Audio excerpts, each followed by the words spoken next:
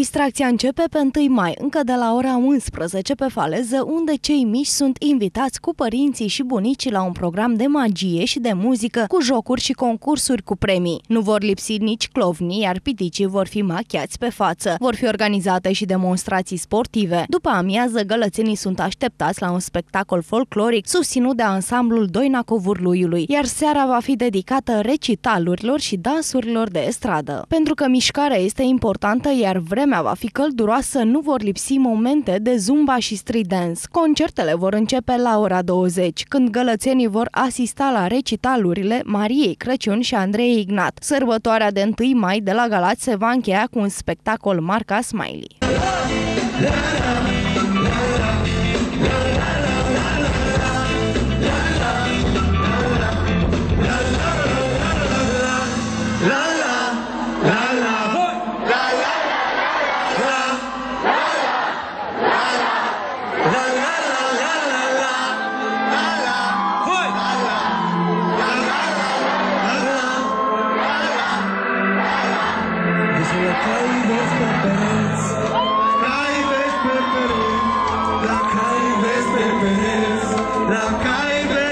Nu uitați să visați la cai verzi pe pereți! Miercuri seară, sute de gălățeni se vor aduna în fața scenei de la Elice pentru a-l admira pe cunoscutul artist Smiley care va veni cu melodii precum Preocupat cu gura ta, În lipsa mea și alte creații mai recente. Prin votul consilierilor locali s-a decis alocarea sumei de 60.000 de lei de la buget pentru desfășurarea spectacolului și a celorlalte momente de divertisment programate pe 1 mai.